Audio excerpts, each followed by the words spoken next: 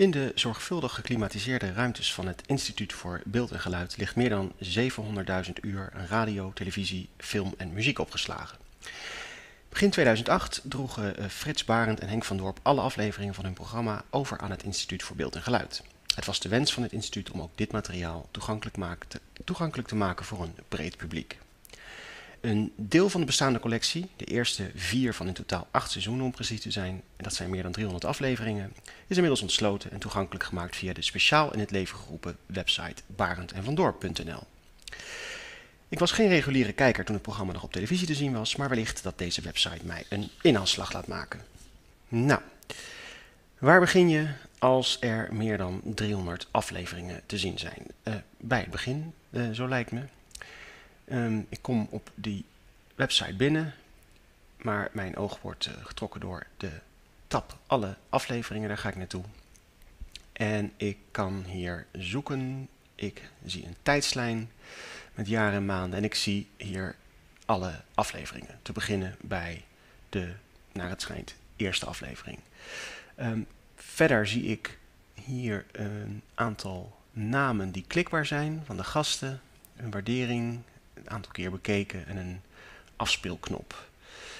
Ik klik op de afbeelding en kom op wat lijkt een programmapagina uh, terecht. Nou, met groot en prominent in beeld de player waarmee ik de aflevering kan, uh, kan bekijken.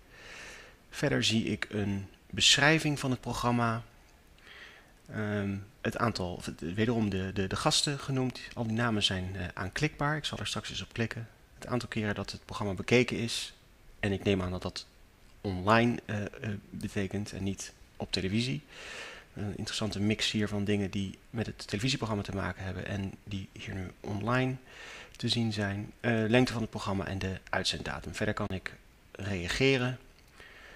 Niet gecontroleerd, wat dat ook mogen betekenen een reactie plaatsen zelf. En ik kan hier mijn, uh, mijn stem uitbrengen.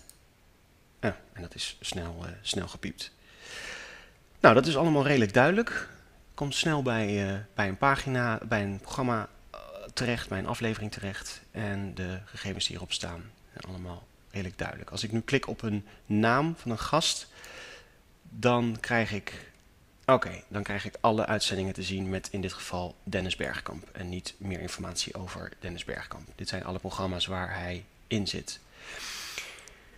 Oké, dat is uh, uh, allemaal redelijk uh, recht toe recht aan, maar het gaat natuurlijk om nogal wat afleveringen. En ik ben eigenlijk benieuwd waar, op welke manier er nog meer ingangen worden geboden naar deze enorme collectie van, van, van afleveringen door deze, door deze website. Nou, ik ga daartoe terug naar alle afleveringen.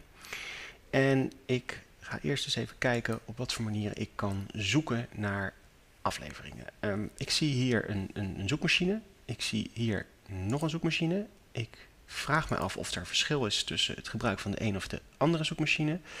Hier staat bij dat ik trefwoorden kan invullen. Ik weet niet of er met trefwoorden iets anders wordt bedoeld dan zoektermen. Um, ik kan eens iets invullen een voetbaltraining bijvoorbeeld. Eens even kijken wat mij dat oplevert. Er zijn geen afleveringen aanwezig. Um, dat lijkt mij eerlijk gezegd, wat ik van het programma weet, een beetje onwaarschijnlijk. Um, als ik hier een meervoud van maak, wat gebeurt er dan? Ah, kijk aan. Dan zijn er, of dan is er in ieder geval één hit. Nou, die zoekmachine gaat dan redelijk strikt om met um, de zoektermen die door mij is opgegeven, de trefwoord door mij is opgegeven. En, ah, kijk, hier komt de door mij opgegeven term terug.